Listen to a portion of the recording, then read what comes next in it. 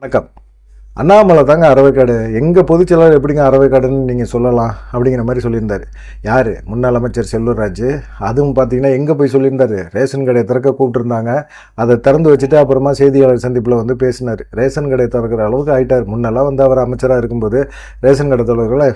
Ration கடையெல்லாம் திறக்க நான் வரமாட்டோம்யா கவுன்சிலர் கவுன்சிலர் வச்சு திறந்துக்கங்க அப்படிங்கிற மாதிரி போயிட்டு இருந்தார் இன்றைக்கி வேறு வழியே இல்லை. அதுக்காவது கூப்பிட்றான்ல அப்படின்னு சொல்லிட்டு போனோம்னா கொஞ்சம் பேர் பார்க்கலாம் மக்களை பார்த்திக்கலாம். இது மாதிரி எலெக்ஷன் விவசாயத்தில் அப்படின்னு சொல்லிட்டு செய்தியாளர்களும் ஏதாவது வாயை பிடிச்சி கிளங்குவாங்கள்ல அப்படி தான் என்ன எடப்பாடி பழனிசாமி அறவைக்காடுன்னு சொல்லிட்டாரு அப்படின்னா அரசியலில் கற்றுக்குட்டிங்க அவர் அண்ணாமலை. அண்ணாமலைக்கு என்ன தெரியும்? இப்போ தான் வந்தவர். அவருக்கு அரசியலை பற்றி என்ன தெரியும்?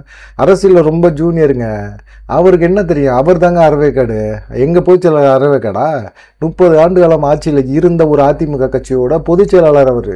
அவர் வந்து அறவைக்காடுன்னு சொல்கிறாரு அவர் மத்தியில் ஆளுகிற கட்சி அப்படிங்கிற ஒரு திமிரில் இருக்கிறார். ஒரு மாநில தலைவருக்கான ஒரு தகுதியோட அண்ணாமலை பேசுகிறாரா அப்படிங்கிற மாதிரி ஒரு கேள்வி கேட்டார். அண்ணாமலை எதுக்காக எடப்பாடி பழனிசாமி அறவைக்காடு அப்படின்னு சொன்னார் அப்படிங்கிறத ஒரு விஷயத்தை வந்து செல்லூர் ராஜ் பதிவு பண்ணணும்ல. எதுக்காக சொன்னார்? பாஜக ஆள்ற மாநிலங்கள் எல்லாம் பார்த்தீங்கன்னா போதைப்பொருள் கடத்தல் அதிகமாக நடக்குது அப்படின்னு சொன்னார். அதுக்கு பதில் சொன்னார். எங்கே இங்கெல்லாம் எல்லையோர வ- பகுதிகள் எல்லாம் பார்த்தீங்கன்னா கடலோர எல்லை பகுதிகள் எல்லாம் பார்த்தீங்கன்னா அதிக அளவில் கடத்தல் பொருள் நடக்குது கடத்தல் நடக்குது. இந்த கடத்தலை தடுக்கணும் முன்னெச்சரிக்கையாக இருந்து நடக்கணும் அப்படின்னு முந்தார பகுதியில் வந்து ஏகப்பட்ட கடத்தல் பொருள்களை பிடிச்சிருக்கிறாங்க போதைப் பொருட்களை பிடிச்சிருக்கிறாங்க. அதை பற்றி தான் அவர் பேசினார். இதெல்லாம் தெரியாமல் பாஜக மாநிலங்களில் வந்து அதிக அளவில் போதைப்பொருள் கடத்தல் இருக்குது அப்படின்னு எடப்பாடி பழனிசாமி பொத்தாம் பொதுவாக ஒரு குற்றச்சாட்டை வச்சார். அதுக்காக தான் அண்ணாமலை சொன்னார் அறவைக்காடாக பேசாதீங்க. கொஞ்சமாவது புரிஞ்சுக்கிட்டு தெரிஞ்சுக்கிட்டு மற்றபடி உங்கள் கூட இருக்கிறவங்கள வச்சு என்ன ஏதுப்பா அப்படின்னு கேட்டுட்டாவது பேசலாமே தவிர இந்த மாதிரிலாம் பேசாதீங்க. அப்படின்னு சொன்னார். சரி ரெண்டாவது என்ன சொன்னார் அப்படின்னு பார்த்தீங்கன்னா பாஜக வந்து அவங்க பெரிய ஆளுமை அப்படிங்கிற மாதிரி சொல்கிறாங்க இப்போ பிரதமர் மோடி வராரு ஒரு கும்பலை காட்டுறாங்க எல்லாமே மோடிக்காக இவ்வளோ கும்பல் வராங்களா? எல்லாம் காசு கொடுத்து தான் கூட்டிகிட்டு வராங்க அப்படின்னு சொன்னார். ஆமாம் நீங்களே எப்படி செஞ்சீங்க? நீங்களும் வந்து உங்களுக்காக வந்தாங்களா? மாநாடு மதுரையில் நடத்தின மாநாடுக்கு அதிமுக தொண்டர்களாக வந்தாங்க. காசு கொடுத்து கூட்டிகிட்டு வந்த கும்பல் தானே? சரக்கு பிரியாணி எல்லாம் போடுறேன்னு சொல்லிட்டு கடைசியில் புளிசோரை போட்டு ஏமாற்றி அவங்க திட்டிகிட்டு போனது தான் உண்மை. அதே போல தான் அவங்களும் கூப்பிடுவாங்க. ஒருவேளை வந்து அந்த கும்பல் நியாயமான கும்பலாக இருந்துச்சுன்னா அப்படிலாம் இருக்கிறதுக்கு வாய்ப்பே இல்லைங்க. இவங்களாம் நினச்சிக்கிட்டு இருக்காங்க. ஓட்டு போடுவாங்கல்ல மக்கள். பத்தொன்பதாம் தேதி ஓட்டு போடுவாங்கல்ல. போட்டான பிறகு ஓட்டு பெட்டியை வந்து ஓப்பன் பண்ணும்போது தான் பாஜக என்ன பொசிஷனில் இருக்குது அப்படிங்கிறது தெரியும். அது வரைக்கும் இவங்க கத்திக்கிட்டு தான் இருப்பாங்க. நாங்கள் தான் வந்து ஓட்டு எண்ணிக்கையில் இதாகிட்டோம் நாங்கள் வந்து பயங்கரமாக வாக்கு சதவீதம் பெறுவோம். அப்படி இப்படிலாம் இவங்களாம் பில்டப்பில் வந்து பேசிக்கிட்டே இருக்க வேண்டியது தான் ஓட்டு எண்ணிக்கையின் போது மட்டும்தான் தெரியும் அப்படிங்கிறது. அதே தான் செல்லூர் ராஜுக்குமே. ஓட்டு எண்ணிக்கை நடக்கும்போது அதிமுக எவ்வளோ ஓட்டு வாங்கும் அப்படிங்கிறது அப்போ தான் தெரியும். ரெண்டு கோடி மக்களோட அதிமுகவுக்கு தொண்டர்கள் இருக்காங்க. அவங்கெல்லாம் வந்து பார்த்திங்கன்னா மனசு வேதனை பண்ணுற மாதிரி எங்கள் பொதுச் செயலாளரை எடப்பாடி பழனிசாமியை அறவைக்காடு அப்படின்னு சொல்லிட்டாரு அப்படின்னு சொல்லி சொன்னார். சரி இவர் வந்து எடப்பாடி பழனிசாமி சொன்னதை தாண்டி பாஜகவை பற்றி செல்லூர் ராஜு என்ன விமர்சனம் வைக்கிறாரு அப்படின்னா அது ஒரு மதத்தை சார்ந்த ஒரு கட்சியாக தான் இருக்குது. நம்ம வந்து தாயா பிள்ளை எல்லா கட்சி எல்லா ஜாதிகாரங்கள்ட்டையும் எல்லா மதத்துக்காரங்கள்டையும் பழகிட்டு இருக்கோம் அப்படின்னு சொன்னார். இவர் வந்து குங்குமம் விபூதியெல்லாம் வச்சுருக்கிறாரு. வச்சுக்கிட்டே இவர் சொல்கிறாரு இந்து மதத்துக்கு மட்டும் பாஜக வந்து துணையாக இருக்குது மற்ற மதங்களுக்கு துணையாக இல்லை அப்படிங்கிற மாதிரி ஒரு அபண்டமான ஒரு குற்றச்சாட்டு. சிறுபான்மையினருக்கு பாஜக ஆதரவு இல்லை அப்படிங்கிற மாதிரி சொல்கிறாரு உண்மையிலேயே சிறுபான்மையினர் மக்கள் வந்து அதிகமாக வந்து இப்போ பாஜகவுக்கு ஆதரவு தெரிவிக்கிற மனநிலையில் தான் இருக்கிறாங்க. அது எல்லாத்துக்குமே தெரியும். ஏன்னா இவங்க திராவிடம் அப்படி இப்படின்னு பேசிட்டு சிறுபான்மையினரை வந்து ரொம்ப இழிவாக தான் நடத்திக்கிட்டு இருக்காங்க. பாஜக வந்து உண்மையிலே சிறுபான்மையினருக்கு மிகப்பெரிய அளவில் ஒரு சப்போர்ட் பண்ணுறாங்க அப்படிங்கிறத மக்கள் இப்போ புரிஞ்சு ஆரம்பிச்சிட்டாங்க. சமூக வலைதளங்களை எல்லாமே பார்க்கும்போது மக்களுக்கு வந்து ஓரளவுக்கு புரியுது. செல்லூராஜ் பேசுகிற மாதிரிலாம் வந்து மக்களை ஒரு இந்து மதத்தை மட்டுமே முன்னிலைப்படுத்தி பாஜக போகுது அப்படிங்கிற மாதிரிலாம் சொல்ல முடியாது. ஆனால் வந்து இவர் பேசுகிறதுனால இவர் நினைக்கிற மாதிரி இருக்கிறாங்க. சிறுபான்மையினர் நிறைய பேர் வந்து பாஜகவில் இருக்கிறாங்க. சிறுபான்மையினர் நிறைய பேர் பாஜகவிலையும் சேர்ந்துக்கிட்டு இருக்காங்க. அதே போல் பார்த்தீங்கன்னா ஒரு காலகட்டத்தில் திமுக அதிமுக கூட்டணி ரெண்டாயிரத்தி இருபத்தி ஆறில் உருவாகும் அப்படின்னு சொல்லி சொல்லியிருந்தாங்க. இதுதான் வேடிக்கையாக இருந்துச்சு. இதெல்லாம் வந்து பார்த்தீங்கன்னா ஒரு தற்குறித்தனமான பேச்சு. எப்படிங்க திமுகவும் அதிமுகவும் கூட்டணியாக வரும் கூட்டணியாக இருந்து தான் பாஜக எதிர்க்க வேண்டிய ஒரு சூழ்நிலை ரெண்டாயிரத்தி இருபத்தி ஆறில் உருவாகலாம் அப்படின்னு சொல்லி ஒரு செய்தியாளர் கேட்டோன்னே இதெல்லாம் வந்து தேவையில்லாத பேச்சுங்க. இப்படிலாம் நாங்கள் கூட்டணி உருவாக்குவோமா? கூட்டணி ஆகிறதுக்கு வாய்ப்பு இருக்குதா? அப்படிங்கிற மாதிரிலாம் பேசிகிட்டு இருக்காரு.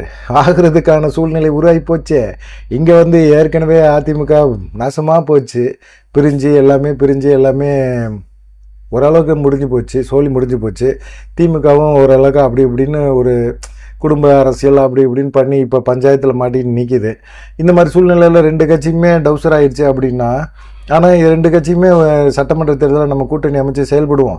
ஆட்சி வந்தாலும் நம்ம பகிர்ந்துக்குவோம். நீங்கள் முதலமைச்சராக இருங்க நான் துணை முதலமைச்சராக இருக்கேன்னு எடப்பாடி பழனிசாமி ஸ்டாலின் காலில் கூட விழுந்துருவார். அந்த மாதிரி சூழ்நிலை வருது. ஆனால் நடிகர் விஜய் அந்த சைடு வர்றாருல தமிழக வெற்றி கழகம் அப்படின்னு ஒரு கட்சியை கொண்டு வராருல அவர் கொண்டு வந்து அவர் வரும்போது கண்டிப்பாக திமுக அதிமுக ரெண்டு கட்சியும் பாதிக்கப்படும்ல அப்படிங்கிற ஒரு கொஸ்டினை செல்லூர் ராஜிட்ட வச்சா அவர் என்ன சொல்கிறாரு அதிமுகவெல்லாம் எந்த விதமான பாதிப்புமே இல்லைங்க. விஜய் ரசிகர்கள்லாம் அதிமுகவில் கிடையவே கிடையாதுங்க. எல்லாருமே பார்த்தீங்கன்னா திமுகவில் தான் இருக்கிறாங்க. விஜய் கட்சி ஆரம்பித்து தேர்தலில் நின்றார் அப்படின்னா திமுகவோட வாக்கு வங்கி தான் சரியுமே தவிர அதிமுகவோட வாக்கு வங்கி சரியாது. நல்லா புரிஞ்சுக்கோங்க. அதிமுகவோட வாக்கு வங்கி சரியறதுக்கு சுத்தமாக வாய்ப்பே இல்லை. நீங்கள் வேணாலும் பாருங்கள் ரெண்டாயிரத்தி இருபத்தி ஆறு தேர்தல் முடிஞ்சோன்னே. விஜய் வந்து பெரும்பகுதி வந்து திமுகவோட வாக்கை தான் பிடுங்குவார்.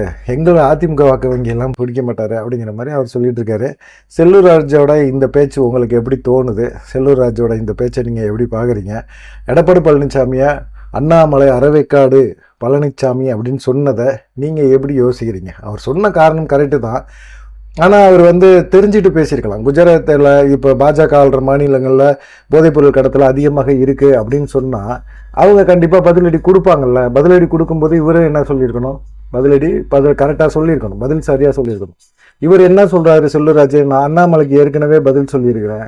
அண்ணாமலை ஏற்கனவே நான் திட்டியிருக்கிறேன். என்ன திட்டியிருக்கீங்க? என்ன பேசியிருக்கீங்க? உங்களை அரசியல் கோமாளின்னு அண்ணாமலை விமர்சனம் பண்ணியிருக்காரு. நிறைய விஷயங்களை பேச முடியுதா? அவர் குறுகிய காலம் தான் அரசியலில் வந்தார். குறுகிய காலம் தான் இருக்குது. அரசியலில் அனுபவம் இல்லை. அரசியலை புரிஞ்சுக்கிற விதம் இருக்குல்ல. அதுதான் மக்கள்கிட்ட போய் சென்றடையும்.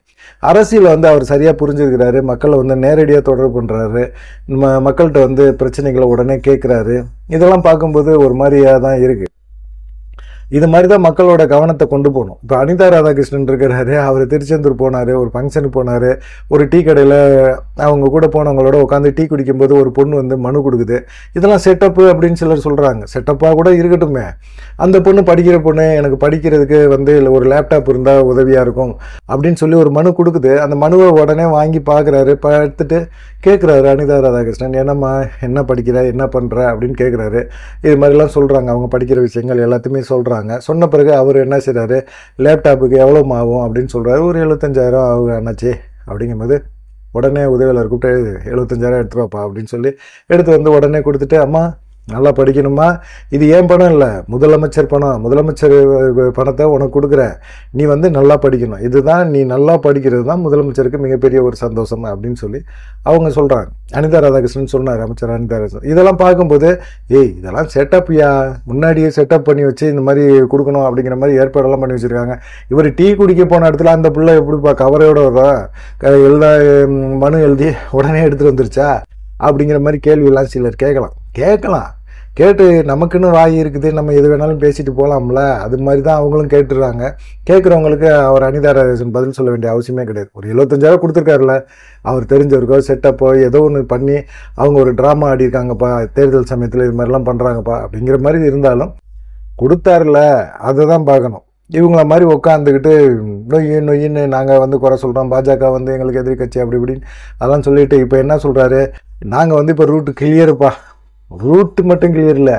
கட்சியே கிளியர் சுத்தமாக தொடச்சாச்சு கட்சியை. இங்கே அதிமுகவில் வேட்பாளர் நிற்கிறது கூட வேட்பாளர் இல்லாத ஒரு சூழ்நிலை உருவாகி போச்சு இன்றைக்கி அந்த மாதிரி இருக்கும்போது இப்போ எங்களுக்கு ஐயோ சாமி பாஜகவோட தொந்தரவு இல்லைப்பா. எங்களுக்கு நாங்கள் நிம்மதியாக இருக்கிறோம். எங்களுக்கு எந்த பிரச்சனையுமே கிடையாது. நாங்கள் சந்தோஷமாக இருக்கிறோம். தேர்தல் அழகாக சந்திப்போம். ரெண்டு கோடி தொண்டர்கள் இருக்காங்க. தொண்டர்களே எங்களுக்கு வந்து சிறங்கி செயல்படுவாங்க ஓட்டு போடுவாங்க.